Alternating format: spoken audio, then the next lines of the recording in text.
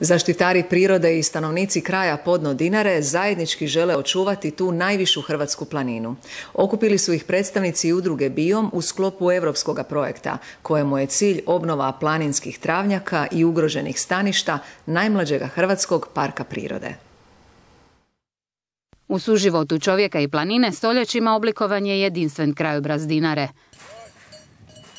Zaštita života kakav je nekad bio, ključan je alat projekta naslovljenog Dinara Back to Life. Gdje će se poticat tradicionalni način života, stočarstvo, održavanje pašnjaka i travnjaka, istovremeno pomoć baš onoj bioraznolikosti koja nam treba na Dinari. Naime, samo povratak stoke može obnoviti ugrožena staništa, no zapuštene pašnjake prvo valja raskrčiti, a pojilišta očistiti. Ja gdje sam gore živio u Čubricama, bilo je 20 bunara, sad pošto je blago gnojilo oko bunara.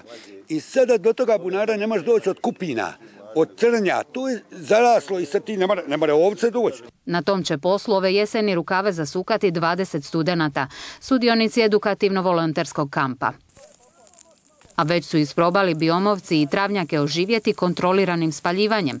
Prva vatra odradila je zadaću, vratile su se vrtne strnadice. I ovdje su recimo došle odmah na to, već za dva mjeseca su već počele se gnjezditi na plohi koje smo mi spalili.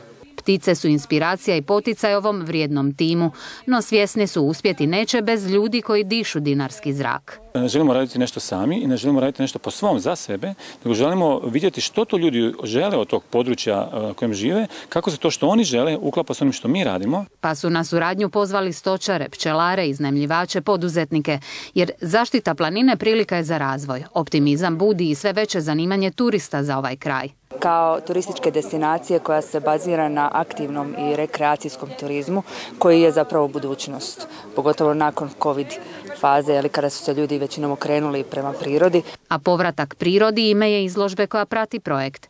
Uz 15 fotografija postav donosi i poruke stanovnika s dinarskih obronaka, apele i putokaze zaštite ovoga bisera grškog ekosustava.